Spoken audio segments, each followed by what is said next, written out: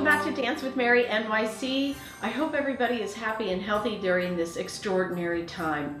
I thought I'd do something a little different for this episode, mix it up a little bit, make it a little fun. I'm going to give you 10, yes 10, ideas for last minute gifting for the dancer in your life, especially the pointe dancer. These are unique gifts. So instead of maybe getting a leotard for somebody or another gift certificate for something, why not get something really special and something they can actually use? Let's get started. Here are your 10 last minute stocking stuffer gift ideas for the pointe shoe dancer in your life. Number one, one of my personal favorites we are going to go with a utility knife. These are those X-Acto blades that cut. They are perfect for cutting the bottoms of pointe shoes. You can cut the insides of pointe shoes. So if you want to cut your own shanks, you may want a utility knife or they're also called box cutters. Now you want to be super careful with these. I do not recommend these for your youngest dancer, but for a dancer that's a little more mature and can handle a blade like that. And don't forget your extra blades. So I've got a nice, nice uh, cutter here and I've got my extra blades and why not add into it some really nice leather gloves. So uh, these are heavy duty leather gloves. So if you are using the box cutter, you put on the gloves, you don't have to worry about anybody cutting fingers or anything. You do want to be very careful, okay? So that's your number one gift giving idea. Number two makes a great stocking stuffer. I have got Gorilla Tape. Now I know we recommend duct tape and you know masking tape over the toe sometimes, but I'm telling you, Gorilla Tape is about the absolute strongest stuff that you can use. And what's so great about Gorilla Tape is you can use it on the insides of the shanks. And I have actually been in rehearsal with people where their ballet slippers sort of blew apart during the class. You know, it just sort of broke down. They took some of the Gorilla Tape that I had and they tore it off and they wrapped it around their foot and they got totally through the rest of class. So Gorilla Tape is a really good idea for your stocking stuffer. Number three, Okay, this one is, I love this one. I know I say they're all my favorites, but this, this really is one of my favorites. So I've got a seven inch multi-purpose uh, uh, pair of scissors. So the scissors, what they're great for is they cut through leather, mm, pointe shoes once again, so you can cut shanks and things. But the best thing about this is this one is designed for maximum leverage with minimal effort. So meaning if you think about it, a lot of people that dance on pointe, you know, if they're women, I mean, men dance on pointe, but if they're women, they have small hands, and I know my hands are actually pretty weak. So to get something like this that gives me leverage when I cut, instead of me having to kind of go uh, uh, with a pair of scissors, uh, the, these are terrific. So these will also get through your very, very thickest shank, like say if you have a Russian pointe or something like that. So if you really want to get through a thick shank, you get these ones that give you more leverage. Great idea. And this also fits in a stocking. Okay, my number four idea wire brush. Okay, so we'll give you a close up on that one too.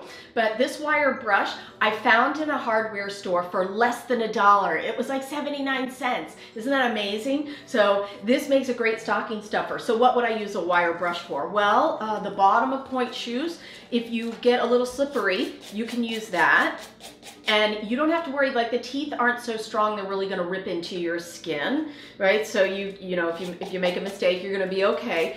And also these wear out pretty quickly so they're really cheap. Why not pick up three of them and put them in somebody's stocking with a nice bow around it? But they also are good for if you have a ballet slipper and there's too much say rosin buildup if you use rosin on your floors the suede can get built up. So you would use that to just kind of bring up the nap again on the uh, suede bottom okay? So that's your number four. So number five. Okay, you can put it in a cute little bag. It fits there or it even goes in a stocking. So what do I have? This one is a leveler and we'll let you see a close-up of that. So what does this do? This sees with, it has a bubble in it and liquid, so it sees whether something's level. What can you use it for? Well, very often with pointe shoes, especially if they're custom made, the tips may be slanted, which some dancers prefer, or the tips may be very level or slanted one way or the other. So you can use your leveler to kind of see whether it's even or not right? This also works great on ballet barres. Did I set up my ballet barre straight? And it also works on floors. How many times have you been on a floor and you've been like, whoa, on your pirouettes and you're like, what's going on? You can pull out the leveler and see whether the, it's you or the floor. and now number six. Now for number six, I love this one. I know I say that with everyone, but I really do love this one because it's so simple and so inexpensive. Go to the dollar store, get some of these glues. You know from our last episode, the glue is cyanoacrylate, okay? That's just a really, Uh, it's a fancy way of saying it's a crazy glue, a super glue, a jet glue, a hot stuff, with a pointe shoe glue, whatever you're gonna use. I just say get the inexpensive stuff. The dollar store has it for a dollar, so that's where you should go. But if you also get it in different shapes. So now this one with a longer nozzle, is ideal for going inside of the pointe shoe. So if you want to get in the tip. But these, the smaller ones that are a one shot kind of deal, you use them just once. These are a great size to fit in a dance bag. So if somebody has an emergency and they have to do like say the shank right there or maybe the inner sole right there and you can even kind of get them into the corners, right? So why not fill up somebody's stocking with all the glue they need to take care of their pointe shoes. Number seven. Oh, this is a fun one. This is a crafty one. Okay, so you're gonna get your own bag of loose lavender, right? And you can find this really, oh, it, smells, oh, smells like heaven. I love lavender. But you can get any other kind of thing. You can make it potpourri, whatever you like. I just happen to like lavender. Uh, dried mint works. Um, you name it. Christmas smells like um, cinnamon and nutmeg and you know that kind of stuff. Allspice and cloves. Get that all dried out. Go ahead. But lavender you can find really cheap online, right? Bags of lavender. And then you buy some sachets right? So that's just those, those mesh bags. And they can be any color. I just happen to pick purple. Then what you do is, you know these uh, silica gel packs that you get. Like they come in vitamins and they come with shoes sometimes or all kinds of clothes, all kinds of, they, they love to stick these things into packages. Rather than throw it away, recycle them. So what you do is you take your lavender and you take your silica gel and you put the gel inside there with the lavender and voila, you have made somebody a really lovely sachet. So not only does it make their pointe shoes smell good, the silica gel will also help dry them out.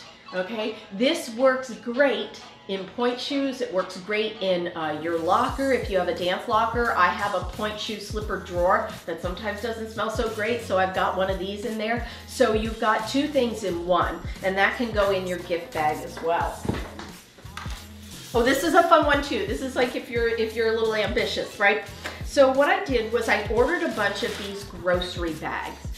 So these are the grocery bags. Like a, you know, they you can put vegetables and produce in it. It's a recyclable bag, so you don't use plastic bags at the grocery store. So I ordered some of those. They have a drawstring, and they're mesh. Now, pointe shoe companies will sell you mesh bags with their logo on them, and that's great, but you can get these for even cheaper. So what I did was I got one of those, and then I put a bow on it, and then I said, oh, what can I put in this? So I took my leveler, I stuck it in there. I took my, um, where's my sachet? I took my sachet of lavender and I stuck it in there. I got a cheap little nutcracker at the dollar store, but it's so adorable, right? And then I stuck it in there. And then I also, if you remember some of our last episodes, Kathy Sullivan sells this great product called a ballet glider. Ballet gliders are awesome. They don't cost so much. They're reversible, they're washable. And watch, there's Velcro on it, so you can wrap it around a ballet barre for stretching, but also during this time when we're worried about germs and communicable things,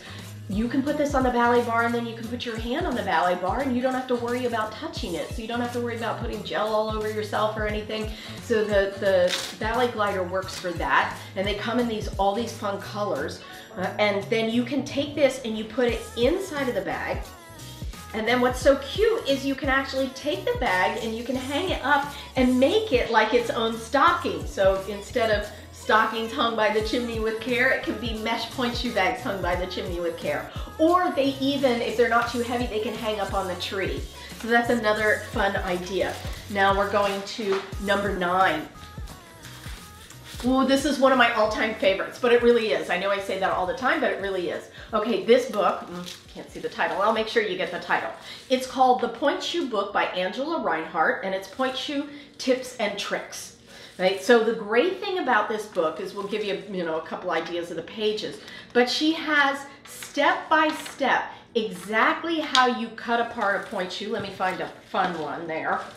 Uh, has all kinds of pictures about exactly how you take care of your pointe shoes, exactly what you should do to cut them apart. She really went to a lot of trouble. And the good news is people are selling these books used online for under $5. So this fits really neatly in a, in a stocking. It makes a great extra gift that's not too much money. And if there's somebody that's kind of a pointe shoe geek like myself, they're gonna love this book. It's just, I can't even say enough good things about it. I've learned so much from reading this book. That's your number nine.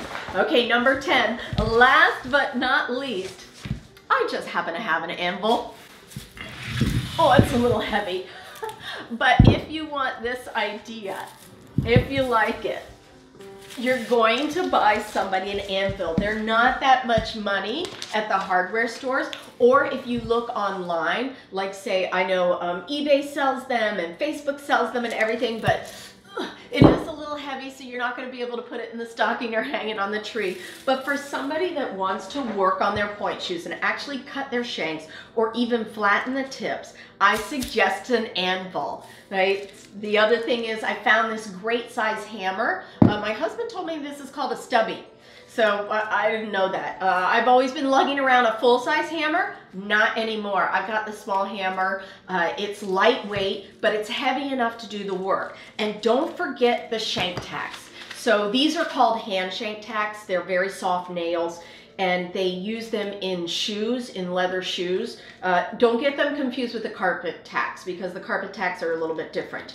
But you want to get loose hand shank tacks so you could combine that with this and then maybe um, think of a creative way to wrap it. I don't know, I just stuck a bow on there. But um, you could think of something more fun. Just be careful, you don't want to stub a toe on this if you stick it under the Christmas tree. Nobody wants to get hurt. But the cool thing is if you look at the shank, what you can do is you can take it and you can even put the end of the pointe shoe on it. Here's my stubby hammer. See, and I'm gonna have really nice even tips after that. Or if I wanna pound out some of the sound on my pointe shoe, I can do it that way too. So I hope you enjoyed this episode and those are your 10 things that you can gift for your dancer last minute stocking stuffers. Don't forget to click if you like something subscribe, and share with others. Happy holidays, everybody!